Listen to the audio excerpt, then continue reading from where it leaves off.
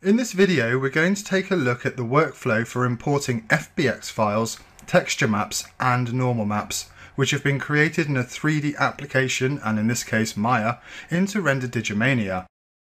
The first thing that we need to do is to open the project library.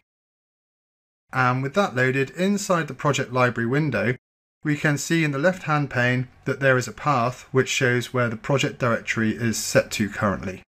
So we need to update this to point to the folder called projects. And the easiest way to do that is to right click on the path and select project directory from the menu. This opens a choose folder window and here we can navigate to the projects folder. Select it and then hit select folder. And with our project path now correct, we can right click on the left hand pane and choose new package and let's go ahead and name the package and I'm going to call it Dino.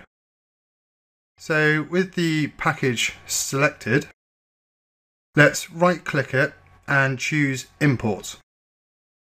And here we'll be given two options. We can import textures and we can import FBX files. Let's select import FBX and this will open the import browsing window. And you'll see we are taken to the FBX folder so we can easily pick the Dino FBX file.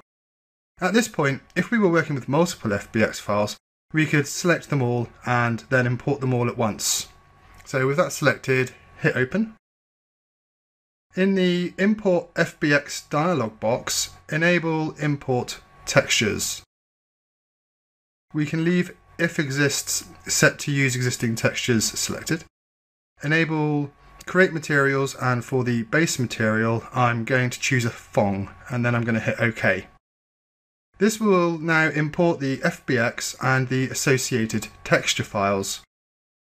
When you're working on your own projects, you may find that when you import your FBX files, Render Digimania may not locate the associated texture maps by default, and this is most likely due to the paths that you have set or how you exported your FBX file. But you can still import the texture files manually if you need to. The amount of time it takes to import depends on the file sizes, but if everything worked correctly for you, then you will find that your FBX file is loaded here with the texture maps applied to the materials. The only thing that's remaining now is for us to bring in the normal maps. So to do this, let's right click and choose import and then import texture. Now let's browse into the Dino folder and then into the FBX folder and we're just going to shift select all five normal maps and then we're going to hit import. In the import textures dialog window, let's choose normal map and hit OK. This will now bring the normal maps into the project library and will just take a few moments. And we now have all of our assets that we're going to use in the project library. To load the FBX file into the 3D viewer, we'll just right click and choose Create Mesh. We now have loaded the Dino asset into the 3D viewer with the associated shaders applied. The normal maps have not been applied, but this can be done via the shaders in their normal map rollouts.